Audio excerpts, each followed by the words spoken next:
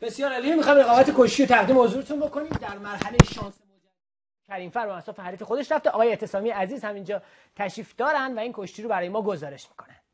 بله تشکر می‌کنم آقای میساقی از اینکه این فرصت مجددا در اختیار کشتی قرار گرفت. جایی که کریمفر در مرحله رپشارج بایستی با کشتیگیر ژاپنی کشتی بگیره.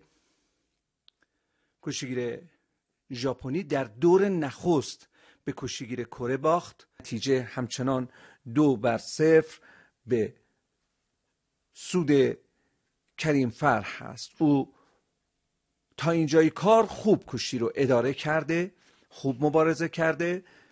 علا رقم شایستگی هایی که این اندیمشکی تیم ملی کشورمون داشته متاسفانه حالا بایستی فقط برای کسب نشان برونز مبارزه بکنه. چهره محمدی رو می‌بینید که در کنار توشک با او صحبت می‌کنه و نکات لازم رو به او میگه. یک اختار به کریم فر. و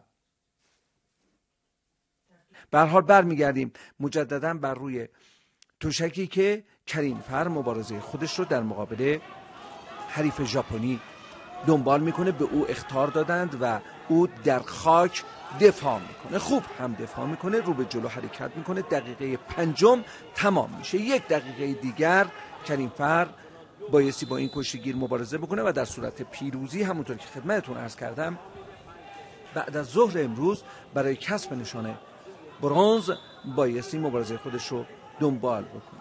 حالا او بایستی برای کسب مدال برونز بعد از ظهر امروز فکر می‌کنم هلوش ساعت یک و نیم اولین دیدار رو برگزار بکنه و در سوی دیگر هم کریم فر همچنان با نتیجه دو سفت جلو هست. فقط هشت ثانیه دیگر تا پایان این مبارزه هم وقت باقی است که این هشت ثانیه هم به نوعی سپری میشه و زنگ پایان مبارزه او در مقابل حریف ژاپنی به صدا در میاد و حسن بابک اصلا به نظر می‌رسه که راضی نیست از کشتی کریم فر به هر حال او بایستی بعد از ظهر امروز برای کسب نشان برونز مبارزه کنه